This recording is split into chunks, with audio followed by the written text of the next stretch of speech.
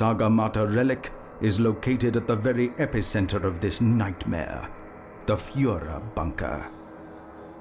Hidden beneath the domed splendor of the Berlin Planetarium, the Führer bunker contains many dark secrets that will likely never be revealed.